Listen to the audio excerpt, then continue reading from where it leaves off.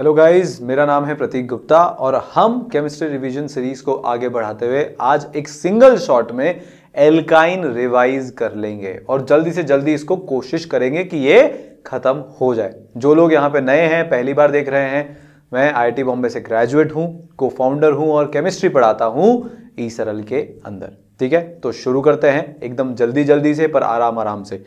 उससे पहले जो हमेशा का हमारा मंत्र है, उसको एक बार रिसाइट कर लेते हैं कि पढ़ाई करो, प्रचंड करो। जैसे जैसे आप लोग के एग्ज़ाम पास आते जा रहे हैं, मन में थोड़े से बुदबुदे उठने लगे हैं बटरफ्लाईज होने लगे हैं, उनको कंट्रोल में रखना है। गुड नर्वसनेस रखनी है कि हम हमेशा अपने टोज पर रहें, पर डर के मारे टाइम वेस्ट नहीं करना है। जो भी होगा अच्छा होगा, हम सब मिलके फोड़ेंगे। ठीक है? चले आगे? चलिए।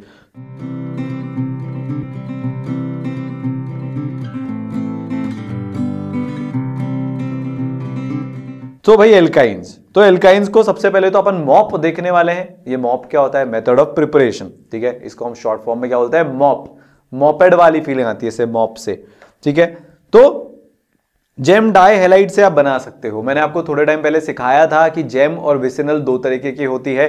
ठीक है? पहले हम जेम डाई हेलाइट से किस तरीके से एल्काइन बनता है वो देख लेते हैं क्विकली बहुत जल्दी। फिर विसिनल से भी देखेंगे। ठीक है भाई?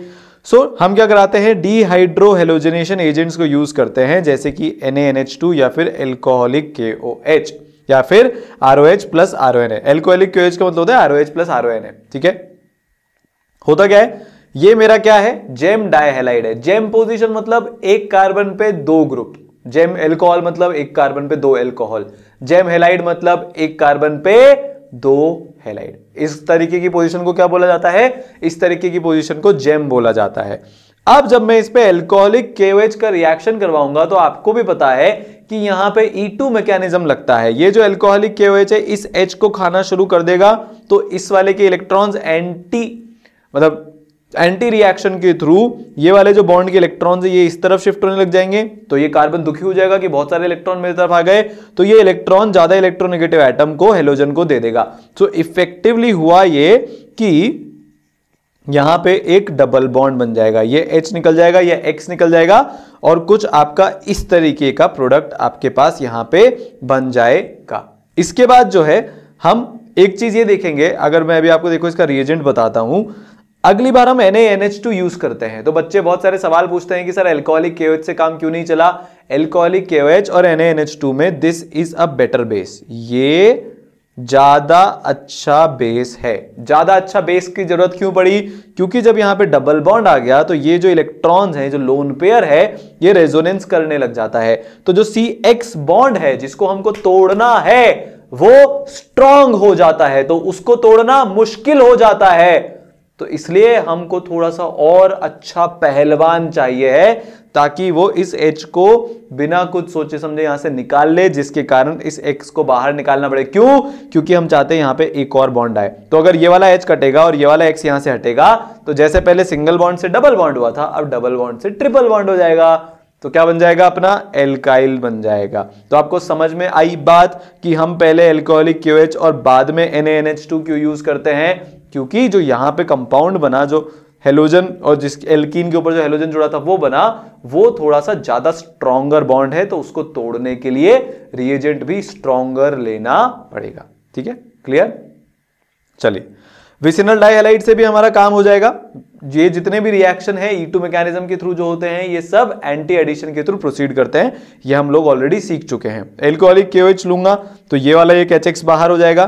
ठीक है, फिर ये बना, ये भी रेजोनेंस स्टेबलाइज्ड है तो स्ट्रॉन्गर एजेंट लेना पड़ेगा NaNH2 तो ये वाला एचएक्स बाहर हो जाएगा और हमारा क्या बन जाएगा? ट्रिपल बॉन्डेड अपना कंपाउंड बन जाएगा। ये क्या बन गया? अपना एल्काइन ठीक है? तो विसिनल डाइहेलाइड से हमने शुरू किया, ये रहा अपना विसिनल डाइहेलाइड, और कहाँ पे पहुँच गए? हम लोग एल्काइन पे पहुँच गए। चलो, ये एक और तरीका हो गया। अब हम टेट्रा हेलो एल्केन भी ले सकते हैं। जैसे अभी हमने एक, दो हाइड्रोजन थे और दो हेलोजन थे। अगर मान लो मैं चारों के चारों हेलोजन लगा दूँ, किस तरीके से? कुछ इस तरीके से। तो क्या होगा? मैंने यहाँ पे जिंक डस्ट लिया है। मेटल का काम क्या होता है? इलेक्ट्रॉन देना। क्या काम होता है मेटल का? भूल गए क्या? इलेक्ट्रॉन देना काम होता है। जैसे ये इलेक्ट्रॉन देगा तो ये एक्स के ऊपर माइनस चार्ज आ जाएगा, ये कार्बन से बोलेगा, मुझे तेरी ज़रूरत नहीं है, यहाँ से निकल। तो कार्बन पे माइनस चार्ज आ जाएगा। कार्बन पगला हो जाएगा कि अरे मेरे पास माइनस चार्ज कहाँ से आ गया, मैं क्या करूँ? तो वो ये इलेक्ट्रॉन को इधर डालेगा, इस एक्स को बाहर कर देगा तो डबल बॉन्ड आ जाएगा। पर जिंक है मेटल तो देगा, दोबारा से मेटल देगा तो इस इलेक्ट्रॉन इस एक्स के ऊपर माइनस चार्ज ये अपने इलेक्ट्रॉन इधर डालेगा तो ये वाले एक्स को बाहर कर देगा, ठीक है? यहाँ पे भी कुछ इस तरीके से एंटी एडिशन होते हुए सिमिलर सा ही मैकेनिज्म है, बस यहाँ पे आपने क्या किया कि बेस ना लेकर मेटल ले लिया ताकि ये हेलोजन को बाहर भगाया जा सके। आपका मेन एम ये है हेलोजन को बाहर भगाना। तो आपके पास क्या बन जाएगा? ये एल्काइन आपके पास फॉर्म हो जाएगा, ठीक है? As simple as that simple है, चलिए। कोलबे इलेक्ट्रोलिसिस भाई देखो, जब आपको एल्किन बनाना था तो आपने कुछ ऐसा कंपाउंड यूज़ किया था। कैसा? ऐसा। तो यहाँ पे डबल बॉन्ड बन गया था और ये वाला ग्रुप बाहर हो गया था, ठीक है? अब जब हमको एल्काइन बनाना है तो हम क्या करेंगे? हम ऐसा कुछ कंपाउंड यूज़ कर लेंगे जहाँ पे डबल बॉन्ड है। तो ये दोनों ग्रुप यहाँ से बाहर निकल जाएँगे। यहाँ पे क्या आ जाएगा?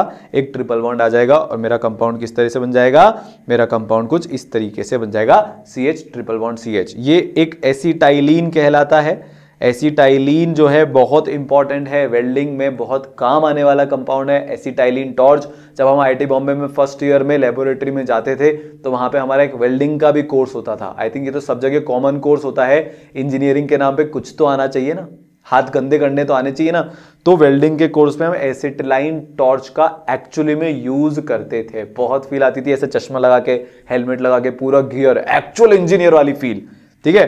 तो कोलबेज इलेक्ट्रोलिसिस के थ्रू भी हम एल्काइन बना सकते हैं। ठीक है?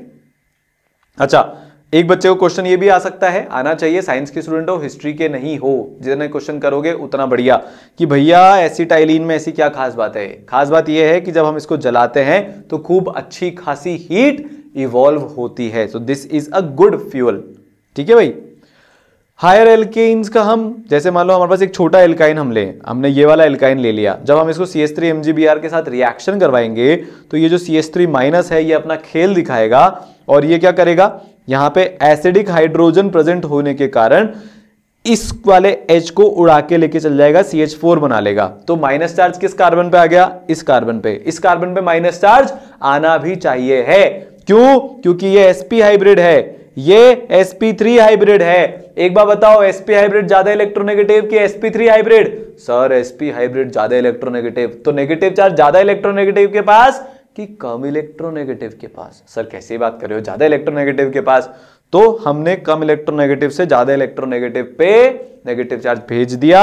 यहाँ पे एसिड बेस रिएक्शन हो रहा है। ये तो अपना बेस है, ये अपना एसिड है। तो एक बात हमको क्या सीखने को मिली कि जो एल्काइन का हाइड्रोजन होता है टर्मिनल एल्काइन का मतलब जब यहाँ पे एक हाइड्रोजन प्रेजेंट है इस बॉन्ड के साथ अटैच तो वो एसिडिक नेचर का होता है। ठीक है? कौन से एच एसिडिक होते हैं? या इनऑर्गेनिक में आप सीख सकते हो। यहाँ पे मैंने थोड़ा सा उसका एक हिंट भी आपको दे दिया। जो समझदार है, समझ जाएगा, नहीं समझदार होगा, वो आगे समझ जाएगा। पर हर बच्चा ई सरल से पढ़ता हुआ पढ़ेगा ज़रूर। पढ़ाई को इतना सरल बना देंगे। ई सरल एजुकेशन सरल। चमका दिमाग में आया कि नहीं आया? बच्चे बच्चे तक पहुँचेंगे। हमारा यार मिशन ही यही है। एजुकेशन को अफोर्डेबल एक्सेसिबल एंड थॉटफुल बनाना। आपको इंटरेस्ट जगाना पढ़ाई का। ठीक है? तो मेरा क्या बन गया? कुछ इस तरीके से कंपाउंड बन गया। अब जब ये कंपाउंड मान लो आर आई पे अटैक कर रहा है आर आई मतलब ऐसा कुछ आयोडीन है तो यहाँ पे माइनस चार्ज होने के कारण ये जाएगा, इसको लात मार के, इसको बाहर भगाएगा। ये बोलेगा, यार कार्बन पे नेगेटिव चार्ज से अच्छा हेलोजन को दिया जाए।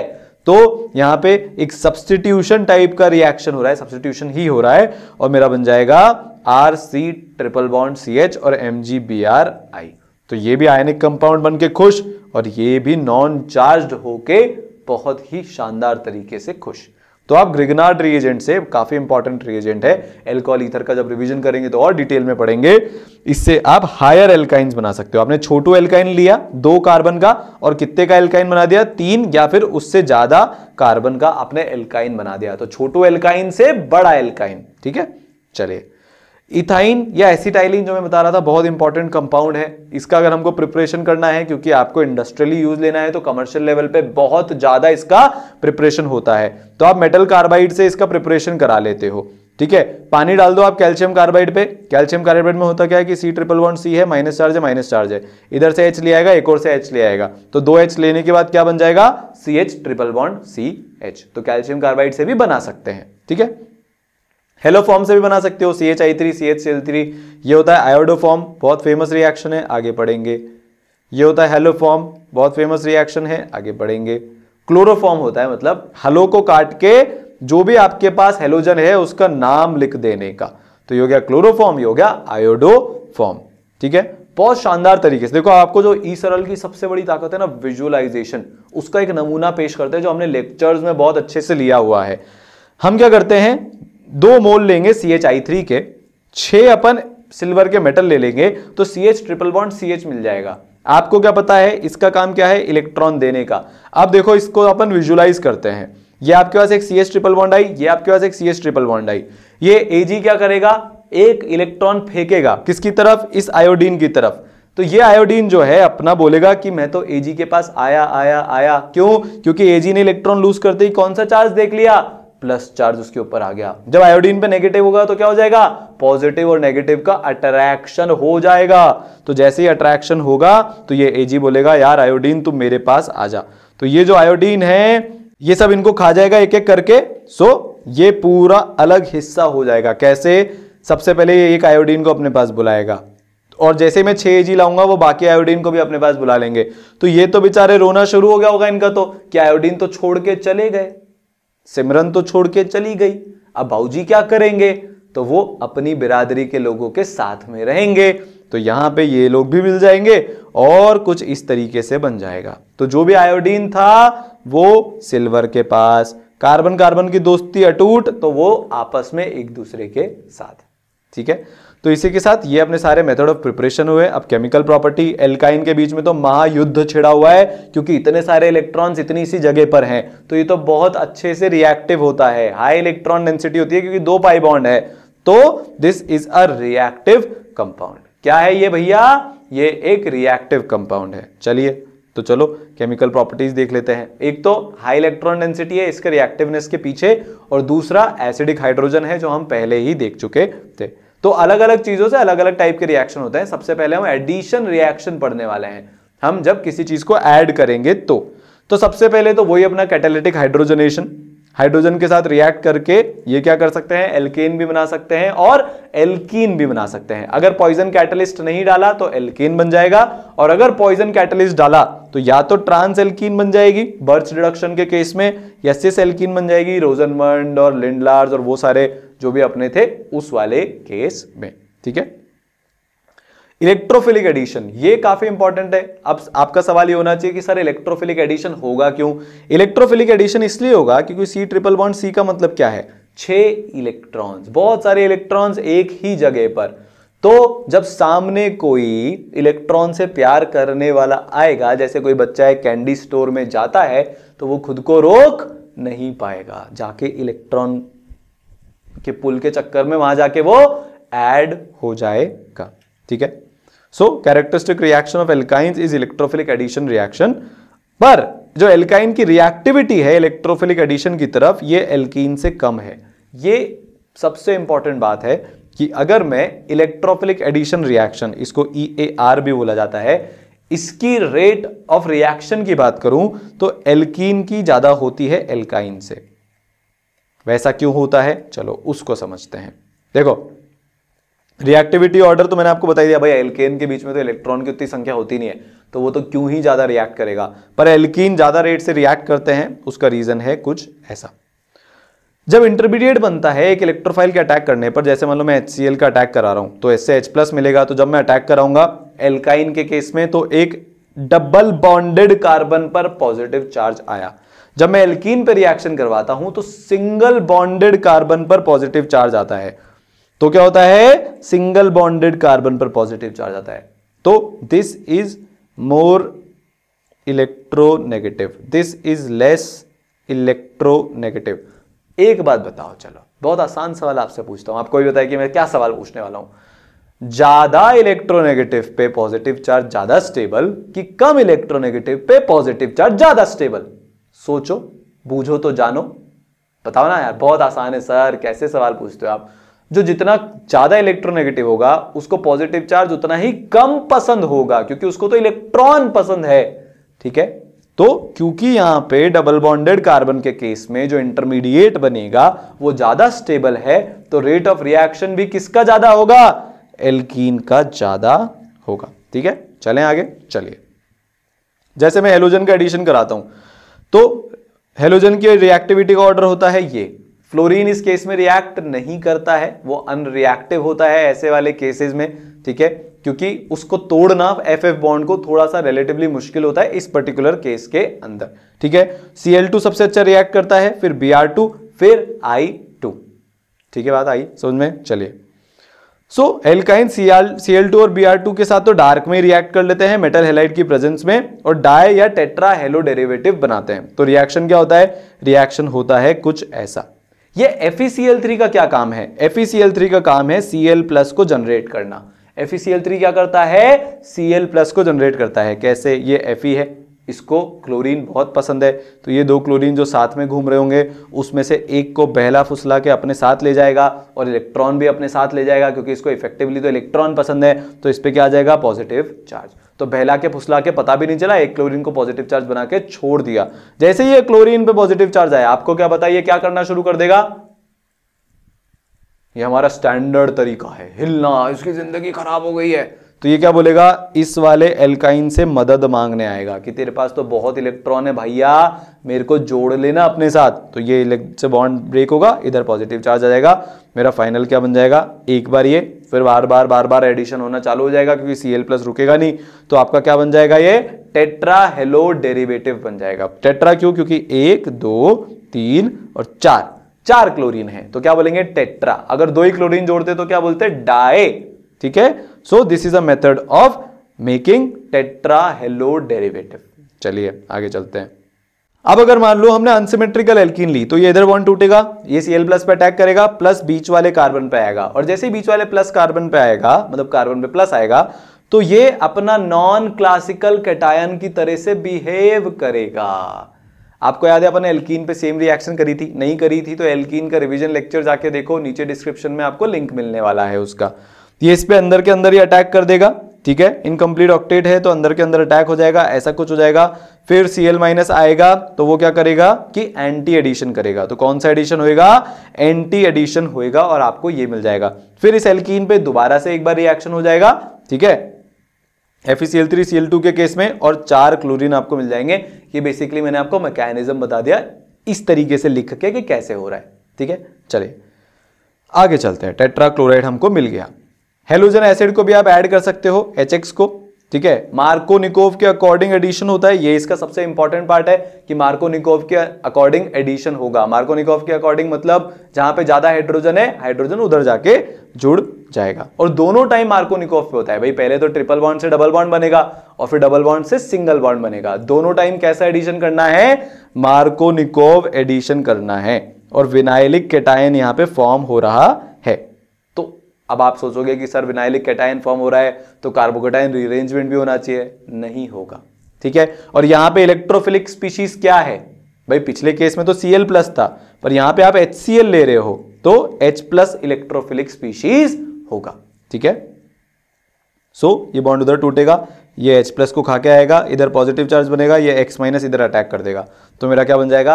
एक बार तो ये बनेगा R C double bond C X दोबारा से जब अटैक होगा तो फिर मेरा ये बन जाएगा। और प्रोडक्ट कैसा बना? मार्कोनिकोव रूल के अकॉर्डिंग बना। हाइड्रोजन वहाँ पे गया, जहाँ पे ऑलरेडी हाइड्रोजन प्रेजेंट था। ठीक है? सो जब भी हम हाइड्रोजन हेलाइड या फिर हेलोजन ये जो अपना H C L H I H B R type के कंपाउंड है, इनको ऐड करते हैं तो मार्कोनिकोव रूल के अकॉर्डिंग एडिशन होता है और आपका जेम हेलाइड बनता है। क्या बनता है? ये जेम हेलाइड के फॉर्मेशन का तरीका हो गया। ठीक है? चलिए, बहुत बढ़िया। तो जेम डाइहेलाइड यहाँ पे आपके बन गए। ठीक है? अगला रिएक्शन देखते हैं। अच्छा एक बात और। इस पर्टिकुलर रिएक्शन में अगर मैं एच की रिएक्टिविटी तो पूछूँ तो क्या होगा? तो वो होगा अपना H I more than H B R क्योंकि इसमें मेरे को एच प्लस चाहिए है। सबसे ज़्यादा एच प्लस कौन देगा? जो जितना अच्छा एसिड होगा। कौन सबसे अच्छा एसिड होता है? जिसका कॉन्जुगेट बेस सबसे स्टेबल होता है। और यहाँ पे जो कॉन्जुगेट बेस की स्टेबिलिटी है, वो किससे डिसाइड होती है? साइज़ से डिसाइड होती है। नहीं समझ में आ रहा? तो जीओसी का रिवीजन जाके देख सकते हो। ठीक है? चलिए, आगे चलिए। एच का एडिशन कराता हूँ। ये अच्छा रिएक्शन है। एल्काइंस हाइपोहेलस एसिड्स के साथ मार्कोनिकोव रूल के अकॉर्डिंग एडिशन कर लेते हैं और जेम डायोल बना लेते हैं, जो कि अनस्टेबल होते हैं, जिससे एक वाटर का मॉलिक्यूल बाहर निकल जाता है और उससे या तो हेलो एल्डिहाइड बन जाता है या हेलो कीटोन बन जाता है। सर, ये कौन सी भाषा में बात कर रहे हो? चाइनीज़ है कि जापानीज है कि क्या है? सही बात है रिएक्शन करके दिखा दो ना, इतनी अंग्रेज़ी का है लिखनी है। चलो तो रिएक्टिविटी ऑर्डर पे बाद में आएँगे, ठीक है? एच का ज़्यादा होता है एचओबीआर का, फिर उसके बाद एच का। ये आप चलो याद ही कर लो। अभी समझाने बैठेंगे तो बहुत टाइम लग जाएगा। जब मैं R C triple bond C H का एचओसीएल के साथ रिएक्शन करवाता हूँ तो मेरा क्या बनता है? R C double bond O C H C L two कैसे बनता है? चलो देखते हैं। मैकेनिज्म पे थोड़ा सा इस पे रोशनी डालेंगे। यहाँ पे चलो एक बात बताओ मेरे को। यहाँ पे मेरे पास एच है। तो या तो ओ OH पे प्लस बनेगा या सी एल पे प्लस बनेगा। क्या लगता है आप लोगों को? जनता जनार्दन को क्या लगता है कि किस पे पॉजिटिव चार्ज आएगा? बताओ बताओ। कैसे डिसाइड करोगे? सर इलेक्ट्रोनेगेटिविटी के बेसिस पे। इलेक्ट्रोनेगेटिविटी किसका ज़्यादा? सर सीएल का ज़्यादा। किसका ज़्यादा? सर ओ OH का ज़्यादा। तो ज़्यादा इलेक्ट्रॉनिक पे पॉजिटिव चार्ज डालू कि कम इलेक्ट्रोनेगेटिव पे पॉजिटिव चार्ज डालू? सर, कम पे। तो किस पे आएगा? Cl प्लस बनेगा यहाँ पे। और जैसे ही Cl प्लस बनेगा, वो अटैक करेगा और वो यहाँ पे अटैक होके इस वाले कार्बन पे जुड़ जाएगा। तो आपके पास ये बना। फिर इंट्रामोलिकुलर अटैक होगा। नॉन क्लासिकल कटायन क्योंकि इलेक्ट्रोफाइल के पास क्या है? लोन पेयर है। चलिए, बहुत बढ़िया। तो मेरा इस तरह से कुछ बन गया। अब ओ OH माइनस आ जाएगा। उड़ता उड़ता साइक्लिक कटायन को अटैक करने के लिए और कुछ इस तरीके से यहाँ पे आके अपने पास अटैक कर देगा। चलिए, बहुत बढ़िया। अब जब इस पे दोबारा से Cl प्लस आएगा, फिर से दो ऑप्शन है कि मैं किस तरफ़ जाऊँ। तो जिस भी तरफ़ Cl प्लस जाएगा, दो पॉसिबिलिटी है। या तो कार्बोकेटाइन इधर बन जाए ये ज़्यादा स्टेबल होगा क्योंकि इसके लोन पेयर इसको रेजोनेंस के थ्रू स्टेबल कर देंगे, ठीक है? या फिर ये पॉसिबिलिटी बनती है तो दो पॉसिबिलिटी है। या तो मेरे कार्बोकेटाइन को क्लोरीन के रेजोनेंस से स्टेबलाइज किया जाए, या फिर ऑक्सीजन के रेजोनेंस से स्टेबलाइज किया जाए। तो ऑक्सीजन मेजोमेरिक इफ़ेक्ट में क्लोरीन के कंपैरिजन में बहुत अच्छा होता है। जब हम प्लस एम की सीरीज़ लिख रहे थे जीओसी के रिवीजन में, वहाँ पे हमने ये चीज़ देखी थी। ठीक है? तो कौन ज़्यादा स्टेबलाइज कर पाएगा? ओ OH ज़्यादा स्टेबलाइज कर देगा। तो ये रिएक्शन अपना हो जाएगा। ठीक है ना? चलिए, अब फिर यहाँ पे प्लस चार्ज है तो एक और ओ OH माइनस आएगा। इधर आके जुड़ जाएगा। यहाँ पे एक four membered cyclic transition state बन जाती है। किसके कारण? एच बॉन्डिंग के कारण। क्या फोर मेंबर्ड रिंग में बहुत ज़्यादा स्ट्रेन होता है क्या? होता है। तो क्या वो सस्टेन कर पाएगा क्या? नहीं। तो इसके कारण इन दोनों ओ OH में से एक पानी का मॉलिक्यूल बाहर निकल जाता है और इधर एक डबल बॉन्ड बन जाता है। ये अनस्टेबल स्पीशीज है। एक कार्बन पे दो ओ OH अनस्टेबल कभी भी नहीं रह सकते ये। हमेशा कुछ ना कुछ दिक्कत करते रहते हैं।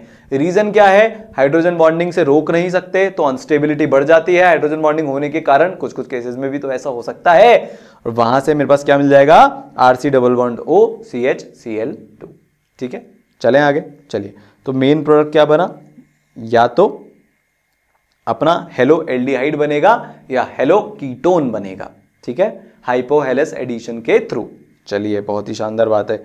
सो डाइक्लोरो कीटोन्स है ना? ये डाइक्लोरो एल्डिहाइड इस पे न्यूक्लियोफिलिक एडिशन रिएक्शन भी हो सकता है। अब आप पूछोगे कि, सर, ऐसा कैसे हो सकता है? यहाँ पे तो क्योंकि आप ऐसा बोल रहे थे, ध्यान से सुनना मेरी बात को, आप ऐसा बोल रहे थे कि एल्काइन के पास इलेक्ट्रॉन्स ज़्यादा होते हैं।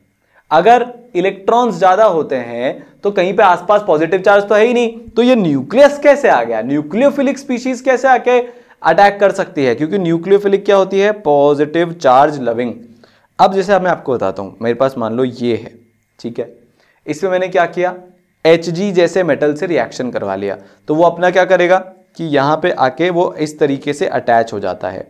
एच जी और इधर आ जाता है प्लस इसके पास होता है लोन पेयर तो वो इधर आके अटैक कर देता है इंट्रामोलिकुलर नॉन क्लासिकल कैटायन तो स्पीशीज क्या बन जाती है? यहाँ पे एच जी यहाँ पे ये बॉन्ड और यहाँ पे प्लस क्या अब आपको यहाँ पे पॉजिटिव चार्ज दिख रहा है क्या? दिख रहा है सर तो क्या अब आके न्यूक्लियोफाइल अटैक कर देगा क्या? कर देगा सर प्रोडक्ट बन जाएगा. चलिए बहुत बढ़िया.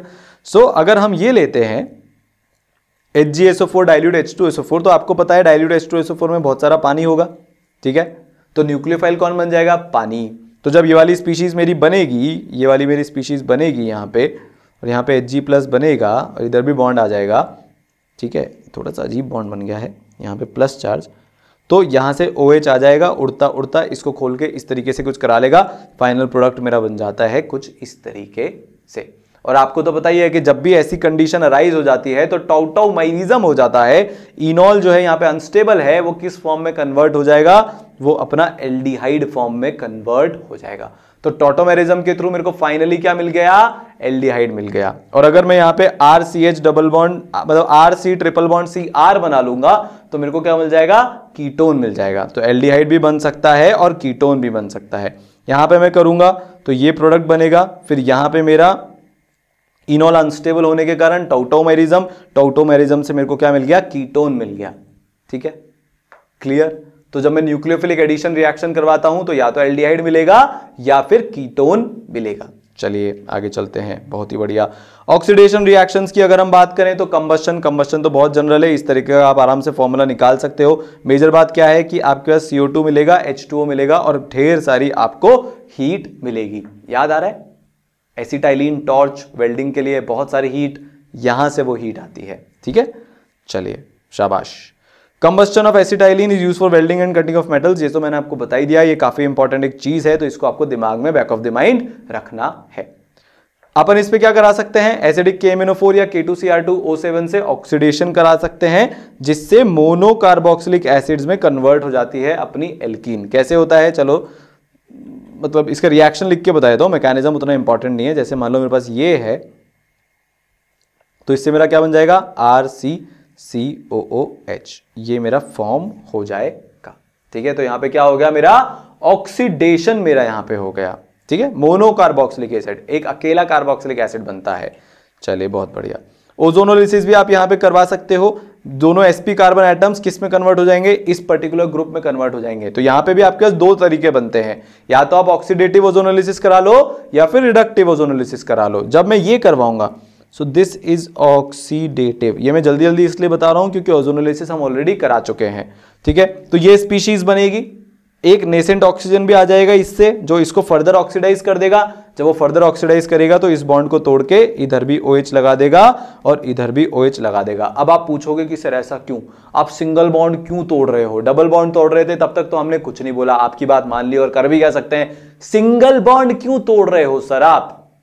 भैया, इस ऑक्सीजन ने इस कार्बन के साथ अत्याचार कर रखे होंगे कि नहीं? सर बिल्कुल कर रखे होंगे इलेक्ट्रॉन खींच रखे होंगे। अच्छा तो उसके कारण इस पर क्या आएगा? Delta positive. क्या ये कार्बन अकेला अलग है क्या? नहीं, क्या आएगा? Delta positive. दो सेम चार्ज, पास पास क्या होगा? तो क्या होगा बॉन्ड? खचाक खचाक खचाक। टूट जाएगा। तो ये बिजली गिरेगी और ये टूट जाएगा और उस मौके का फ़ायदा उठाते हुए यहाँ पे एक ओ OH लग जाएगा इस तरीके से। तो मेरे पास क्या बन गया? इस वाले का तो H C O O H बन गया और इस वाले का C S three C O O H बन गया। और अगर यहाँ पे और नेसेंट ऑक्सीजन अवेलेबल होगा तो ये H C O O H C O two plus H two O में कन्वर्ट हो जाएगा। जब मैं रिडक्टिव ओजोनोलिसिस करा रहा हूँ तो एच टू ओ तो बनेगा ही नहीं तो कंपाउंड यहीं पे आके ठहर जाएगा। ठीक है? अच्छा क्वेश्चन है। आप इसको अपने कॉपी में लिख के या इसका कुछ भी स्क्रीनशॉट खींच के इसको रख सकते हो अपने पास। चलिए, आगे चलते हैं। सब्सटीट्यूशन रिएक्शन भी शो करता है एल्काइन ठीक है? सब्सटीट्यूशन रिएक्शन कैसे? आपको याद है ना मैंने बताया था कि ये वाला एच एसिडिक होता है तो एच को हटा के कुछ और लगा देने का है ना?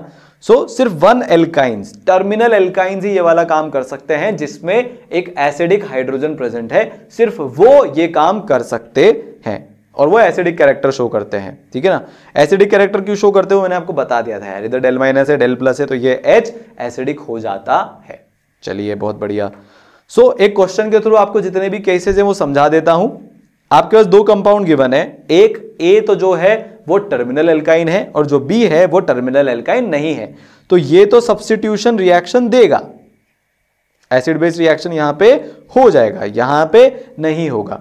सो फॉर एग्जांपल मान लो मैं टॉलेंस रिएजेंट लेता हूँ अमोनिकल क्यूप्रस क्लोराइड लेता हूँ B R two C C L four लेता हूँ और बायर्स रिएजेंट लेता हूँ तो हम इन दोनों के रिएजेंट को कैसे डिस्टिंग्विश कर सकते हैं?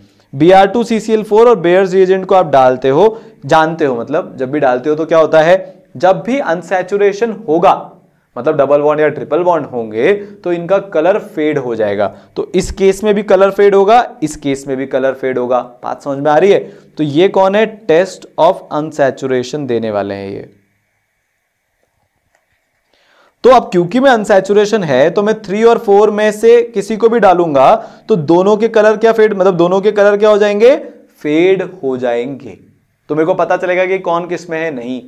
डिस्टिंग्विश करने का मतलब क्या होता है? आप दो आदमी में कैसे डिस्टिंग्विश करते हो? यार, इसका चेहरा अलग है, इसका चेहरा अलग है। मतलब बिहेवियर अलग अलग होना चाहिए। जैसे ही मैंने थ्री और फोर डाला ए एंड बी एकदम सेम तरीके से बिहेव करेंगे। तो डिस्टिंग्विश कर सकते हैं क्या? नहीं। अब सवाल आता है कि, सर टॉलेंस रिएजेंट क्या होता है? टॉलेंस रिएजेंट होता है AGNO three plus NH four O H तो जैसे मान लो मैंने जब ये डाला इधर तो ये एजी क्या करेगा? हाइड्रोजन की जगह खुद को लगा लेगा और ये एक वाइट प्रेसिपिटेट होता है। तो शायद आपको पता नहीं चल रहा, पर इस टाइम पे हम प्रैक्टिकल ऑर्गेनिक केमिस्ट्री का रिवीजन भी साथ साथ में करते जा रहे हैं। तो जब भी मैं टॉलेंस रिएजेंट मिलाता हूँ, किस पे? वन एल्काइन पे। तो मेरे को क्या मिलता है? व्हाइट प्रेसिपिटेट टर्मिनल एल्काइन के अलावा ये जो बीच वाला एल्काइन है, इस पे मिलेगा क्या? नहीं। क्यों? क्योंकि यहाँ पे एसिडिक हाइड्रोजन प्रेजेंट नहीं है। चलिए बढ़िया। तो टॉलेंज रिएजेंट से हम डिस्टिंग्विश कर सकते हैं टर्मिनल एल्काइन को एंड नॉन टर्मिनल एल्काइन को। ठीक है भाई?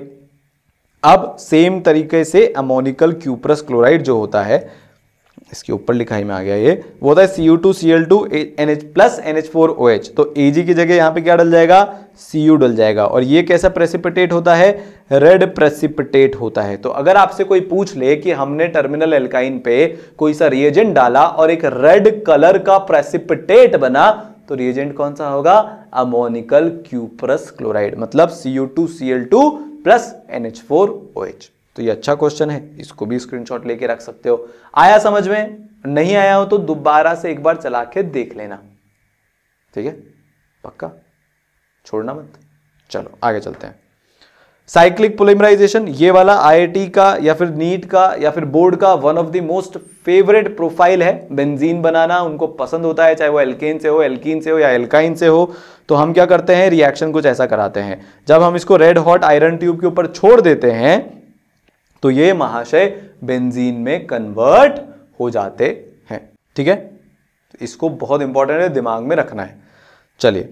सो so, अगर मैं इसको ऐसा करूँ रेड हॉट आयरन ट्यूब में तो ये तो बेंजीन में कन्वर्ट हो जाएगा और ऑल्टरनेट कार्बन पे एक सी थ्री लग जाएगा। और ये जे एडवांस 2018 में आया हुआ क्वेश्चन भी है। और ये इसको क्या बोलते हैं? इसको बोलते हैं मेसिटाइलिन नाम इंपॉर्टेंट है। सिर्फ़ वो नाम याद कराने के लिए ये वाला क्वेश्चन यहाँ पे लिया तो हम क्या डाल, क्या बन जाएगा मतलब यहाँ पे? यहाँ पे बन जाएगा मैसी टाइलिन चलिए, बहुत बढ़िया। तो इसके साथ हमारा एल्काइन का रिवीजन खत्म। देखो, ये वीडियोस जो भी देख रहा है ना, उनको बहुत फ़ायदा हो रहा है। इससे क्विकली करीब करीब भी आपका आधे घंटे में यार पूरा एल्काइन रिवाइज हो गया। खुद से पढ़ के भी नहीं हो सकता इतनी जल्दी। तो सेम फिजिक्स में भी चल रहा है। उन सब वीडियोस को देखो, आपको बहुत फ़ायदा करने वाला है। जो ट्वेल्थ के बच्चे हैं, उनको ऐसा लग रहा है, सर, ये तो इलेवेंथ का है। पर आपके कॉम्पिटिटिव एग्ज़ाम के पॉइंट ऑफ़ व्यू से बहुत इंपॉर्टेंट है और यही सेम ऑर्गेनिक में दिक्कत यही है। हम एकदम सीधा ट्वेल्थ का रिवाइज नहीं करा सकते। क्यों? क्योंकि उसमें प्रॉब्लम ये हो जाएगी कि आपको ये बेसिक्स जब तक समझ में नहीं आएँगे, आगे का कुछ समझ में नहीं आएगा। तो अपन फटाफट से हाइड्रोकार्बन खत्म करेंगे। अगले एक लेक्चर में वन शॉट में एरोमेटिक को खत्म कर देंगे। और अगर आपको ऐसा लग रहा है कि यार ये लेक्चर्स आपकी हेल्प कर रहे हैं और आपने अभी तक सब्सक्राइब नहीं किया है तो चैनल को ज़रूर सब्सक्राइब कर लेना। रोज कुछ ना कुछ अच्छा अच्छा आता रहता है, आपका बहुत फ़ायदा होगा। और बेल आइकन दबा लेना ताकि अगला रिवीजन वीडियो आएगा, या स्ट्रैटेजी वीडियो आएगा, या टॉपर इंटरव्यू आएगा, या कुछ भी आएगा तो आपका वीडियो मिस नहीं होगा। खत्म करेंगे, ठीक है? पढ़ाई करो, प्रचंड करो। और फोड़ना है, रुकना नहीं है। चलिए, फिर मिलते हैं।